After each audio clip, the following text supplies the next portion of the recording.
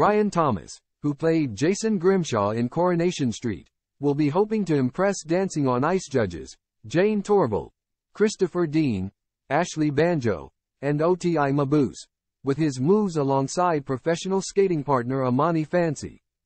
Former Coronation Street cast member Ryan Thomas has turned to his fellow soap star brother Adam Thomas for tips on how to cope with scathing comments from the Dancing on Ice judges.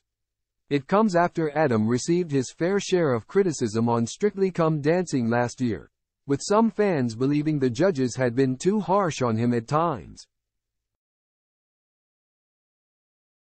Adam, 35, and his professional dance partner Luba Mushtuk, 34, were the sixth couple to leave Strictly 2023 after losing out to Angela Rippon, 79, and Kai Widdrington, 28, in a controversial dance-off.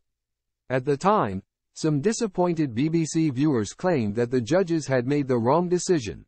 Ryan, 39, who is competing in Dancing on Ice 2024 with Amani Fancy, has since been warned by his younger brother that dealing with the judges' critiques will be a nightmare.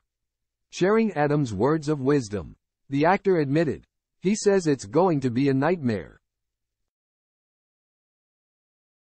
Despite the gloomy outlook, Ryan has also taken some inspiration from his brother's hard work on the Strictly dance floor.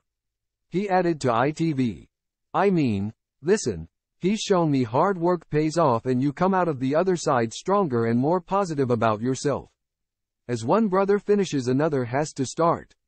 The star pointed out, Ryan and Adam have another famous brother in Scott Thomas, who appeared on season 2 of ITV's Love Island.